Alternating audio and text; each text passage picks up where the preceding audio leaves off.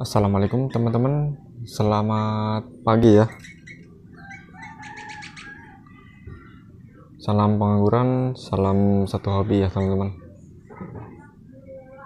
Mohon maaf uh, Ini kurang Tahu jarang upload ya.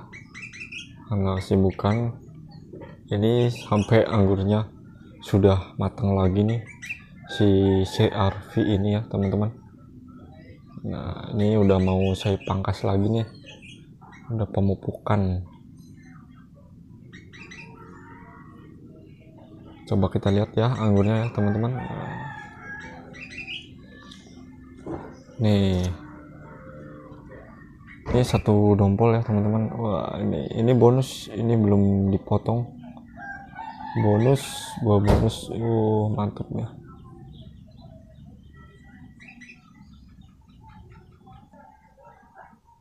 untuk batang ini udah coklat semua ya udah pemupukan.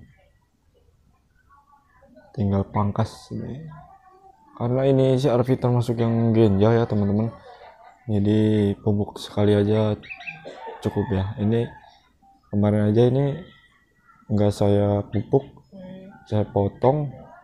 Di sini nih ini keluar bunga bonus ya. Buah bonus ini padahal saya lagi pembentukan tersier. Tapi saya pelihara ini satu dompol lumayan buat icip-icip ya teman-teman. Jadi buat teman-teman yang mau menanam anggur jangan ragu ya. Ini cuman di halaman rumah. Nah di planter bag ya teman-teman. Nih. Kita lihat pohonnya.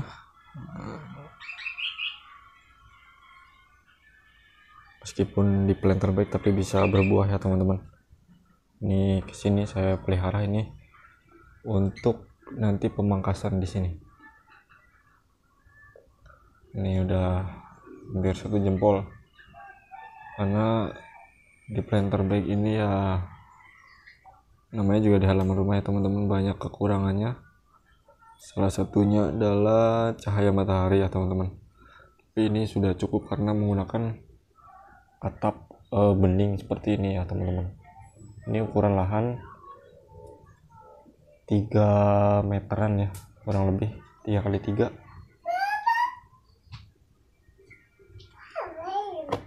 3 kali 3 meter. Nah ini pakai saluran air ini untuk menyiram ya teman-teman. Udah dibahas di video sebelumnya.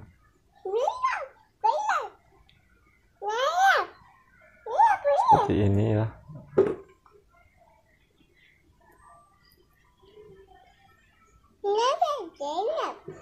ini medianya juga. Oh ini planter bag ukuran 100 liter ya teman-teman. Planter bag 100 liter. Jadi saya tanam di halaman rumah seperti ini ya teman-teman. Nah, tuh. Bibitnya juga ready si RV ada Gospi. Cuma yang mau dipangkas ini si si RV ya nanti yang di pot juga ada yang sebelah sana. Nah teman-teman.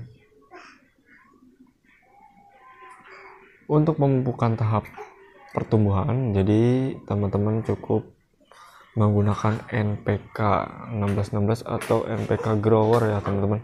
Saya menggunakan NPK grower untuk pertumbuhan ya. Karena kandungannya lengkap di sana nanti setelah pohon dikira sudah cukup untuk dibuahkan baru dipupuk dengan MKP ya teman-teman. Saya menggunakan MKP 10 gram per satu minggu sekali.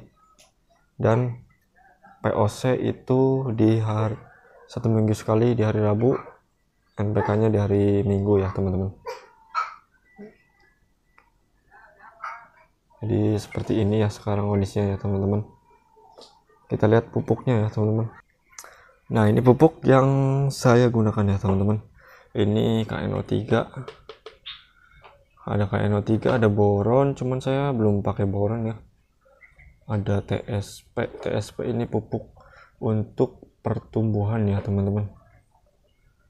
Pupuk baru menanam saya campurkan TSP di media tanam baru ditanam untuk takarannya ini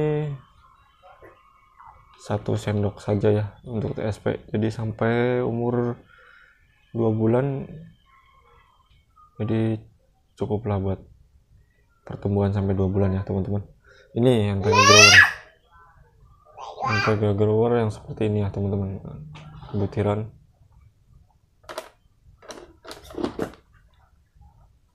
kemudian ini magnesium sulfat. Nah jadi kalau saya ini pemupukan menggunakan magnesium sulfat yang PK grower dan nih asam humat ya. Teman-teman ini ada di online shop. Jadi ini satu sendok sekitar 5 gram. Kemudian ini sekitar 2 gram 3 gram lah menyesuaikan kondisi daun ya teman-teman. Kemudian ini 5 gram. Nah, seperti itu ya teman-teman. Ini untuk pupuk pertumbuhan ya teman-teman. Untuk pupuk pembuahan saya pakai MKP saja ya. Jadi ada MKP magnesium sulfat sama asam humat. Itu aja sih teman-teman tidak muluk-muluk ya. Ah ini untuk POC nya nih. Ini POC ini tanggal berapa nih teman-teman? Ah, 6 6 bulan 8 sekarang bulan bulan 10 ya teman-teman. Udah sekitar dua bulan. Ini udah wah bagus banget. Ini standarnya dua minggu saya bikin langsung saya pakai ini dua bulan ya. Ini bagus banget nih udah ini satu minggu sekali nih. Di hari Rabu ya teman-teman. Hari ini hari Jumat jadi untuk pemupukan nanti di hari minggu ya teman-teman. Jadi seperti itu ya teman-teman. Untuk perawatannya ya. Oh satu lagi lupa. Saya menggunakan abasel dan Mister Top ya teman-teman. Nih ini untuk hama satu minggu sekali juga. Abasel dan Amistar Top. Ini dilakukan di pagi hari. Untuk takarannya Abasel 1 mili per 1 liter Amistar Top 1 tetes ya teman-teman